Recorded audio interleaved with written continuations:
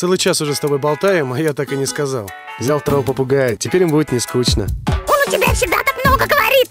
С тех пор, как подключился к новому тарифу от Password. Паспорт, паспорт. Один тенге в минуту внутри сети в дневное время. Password. Звони от души. А ночью вообще бесплатно.